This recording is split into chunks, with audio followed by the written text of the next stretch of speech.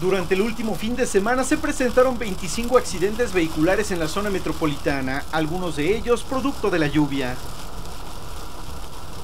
La Secretaría de Seguridad Ciudadana reportó que en promedio se registraron de 7 a 9 accidentes al día, por lo que a través de elementos estatales apoyan en vialidades para que se respeten velocidades y señalamientos.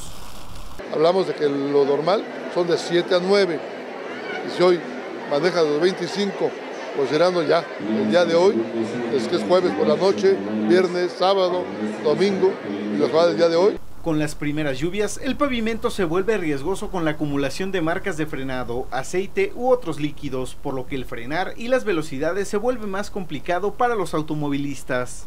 Boteo de aceite o combustible, diésel, que cuando vienen las primeras lluvias lo hacen muy resbaloso.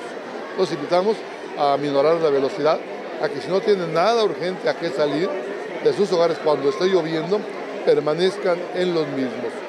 La Secretaría de Seguridad Ciudadana pide respetar distancia entre vehículos y límites de velocidad y ya se cuenta con un equipo especial dentro de los operativos para lluvias donde colaboran en caso de ser necesario.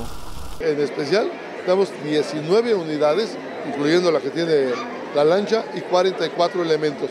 Pero en un momento dado, todo el personal se aboca a apoyar en caso de algún problema. Alejandro Nieto, Noticieros Televisa. No, por aquí.